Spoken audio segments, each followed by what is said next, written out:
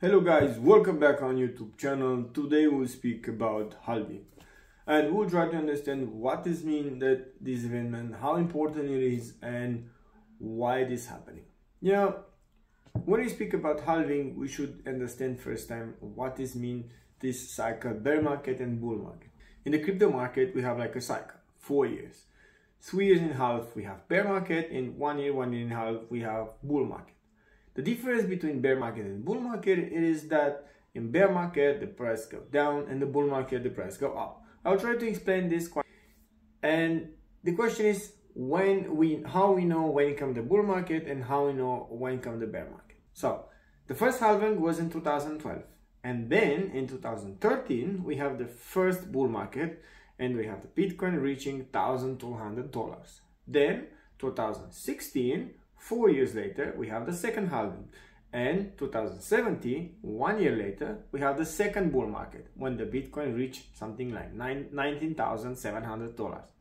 And then we have 2020, the last halving. Then after that, we can have 2021, the third bull market when the Bitcoin reached something like 69, uh, 569 $700 69,000 okay now in 2024 we have the fourth halving and after that we expect in 2025 to have the next bull market. But the bull market start already after the halving theoretically if we look on the price history. This year in 2024 we have something new. We have a new all-time high in March this year, 14 March more, more specifically, when Bitcoin reached 73,500, the new all-time high. Normally that's happening after the halving. And this happening this year before the halving. What does mean of that? This mean can mean two things. First, we will have a short bull market, okay? Some people say that this time the bull market will start in 2024 and will end of the beginning of 2025. Or we will have a normal bull market, what will be in 2025 next year, but will be much more higher than now. From the beginning, to be easy for everybody.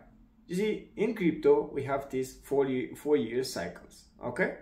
Bear market, bull market. And this halving event, that's why it's very important because from this halving event is the point when theoretically the next bull market starts. That means this is happening in 2012, 2016, 2020, and now we expect that it will be happening in 2024.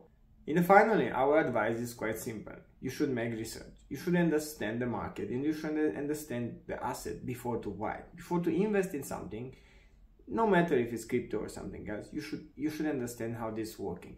And in crypto, if you buy in the years before the halving and you sell after the halving, that's mean you have a very good, good probability to make a lot of profits.